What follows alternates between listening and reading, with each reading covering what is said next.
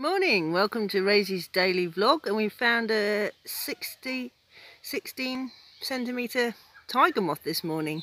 Amazing.